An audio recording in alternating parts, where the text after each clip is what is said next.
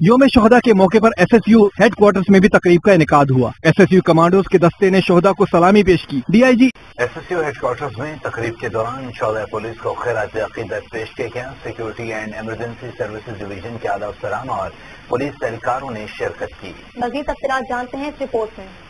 یعنی یوم شہدا کے موقع پر S S U headquarters میں تقریب کا انعقاد شہدا پولیس کو خراج عقیدت پیش کی گئی۔ Security and emergency services division کے اعلیٰ افسران اور پولیس اہلکاروں نے شرکت کی۔ ایس ایس یو کمانڈوز کے دستے نے شہدا کو سلامی پیش کی۔ Commandant S S U Zeeshan Shafiq Siddiqui اور دیگر سینئر افسران نے یادگار شہدا پر فاتحہ خوانی کی اور پھول چڑھائے۔ D I G security and emergency services division Maqsood Ahmed کی جانب سے کمانڈنٹ ایس ایس یو نے شہدا کی یادگار پر پھول چڑھائے۔ D I G Maqsood Ahmed corona virus کی وجہ سے ان دنوں قرنطینہ میں ہیں۔ کمانڈنٹ ایس ایس یو نے شہدا کے اہل خانے سے ملاقات کی اور ان میں تحائف تقسیم کیے۔ فرائض کی انجام دہی کے دوران اپنی جانوں کا نذرانہ پیش کرنے والوں کو خراج تحسین پیش کرنے کے لیے یہ دن اہمیت کا حامل ہے۔ ہمیں شہدا کی قربانیوں کو نہیں بھولنا چاہیے کیونکہ انہوں نے شہر کا امن بحال کرنے کے لیے اپنی جانوں کا نذرانہ پیش کیا۔ شہدا کے اہل خانہ کا کہنا ہے کہ ہمیں نہ صرف یوم شہدا کے موقع پر یاد رکھا جاتا ہے، بلکہ جب بھی ہمیں ضرورت پیش آتی ہے تو ہماری مدد کی جاتی ہے۔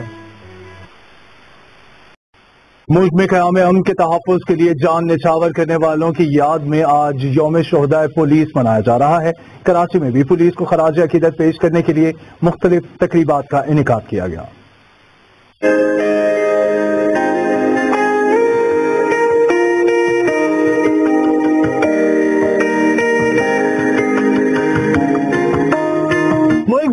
آج یوم شہداء پولیس منایا جا رہا ہے، جس کا مقصد اپنے فرائض کی انجام دہی کے دوران جان قربان کرنے والے پولیس اہلکاروں کو خراج عقیدت پیش کرنا ہے۔ اس سلسلے میں کراچی کے مختلف اضلاع میں یوم شہداء پولیس کی مناسبت سے تقریبات